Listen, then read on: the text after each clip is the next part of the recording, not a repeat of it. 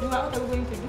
Uh, madam, you do pedicure, manicure, remove the dead skin. Yeah, you do it so well. Mm. Yes. So where are you coming from? Why? Okay, let me just ask, how is the farm? I'm not a farmer. You're not a farmer, you're not a football. Are you a footballer? No. So this is normally, normally. Hey! You guys come and see. This is how your feet are normally. That is how they are. That is how your feet have always been. Jesus Christ, what is this? Why? I cannot give. You. This is not pedicure. This is a whole body part. I'll be giving you a full body massage if I touch your feet. You loosen up, loosen them up. So that's how they are. That these are your feet. I cannot be doing pedicure. If I worked on them, it would be reconstruction. Look at how your feet look like. You have claws. These are not nails. These are claws. What is this? Don't you feel pain?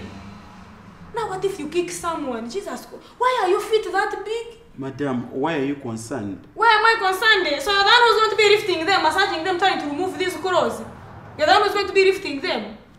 Don't tell me. I think you started wearing shoes at the age of 18. So your feet were given time to grow randomly, very exaggerated. They've grown till everywhere. Your feet have grown too big.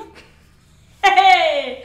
Ah, this is fantastic. I can't believe this. Is- Are these feet or fetus of a crocodile? Madam, are you So going to work on me? I'm not a plastic surgeon, just so you know. I cannot do any plastic surgery on you, and that is the only thing that is needed.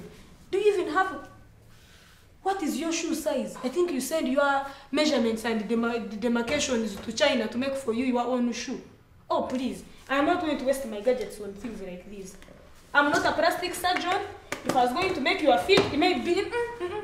These are not feet. Actually, as a matter of fact, you're wasting time. You're here in a saloon instead of going to a museum and you ask what deal they can give you to take off those legs and put them in a museum and you get tourist money. Foreign exchange, simple as that. You As a matter of fact, if they put these feet next to Zinjanthropus's remains, we have made a killing in killing in the museum. world. Woman, do you realize you talk too much? I talk too much. Do you realize you have big feet? Okay, let us now all realize our talent. I talk too much, you have big feet. And there is no way me, as can see, I am going to talk. Ah! Can see me, I have discovered the eighth wonder Eh, of the let world. me leave your saloon. Eighth wonder of the world. You are tourist attraction.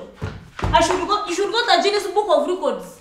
You should trust me. You will enter. No, get very undisputed and defeated. Eh, these are not feet. This man wanted to kill me.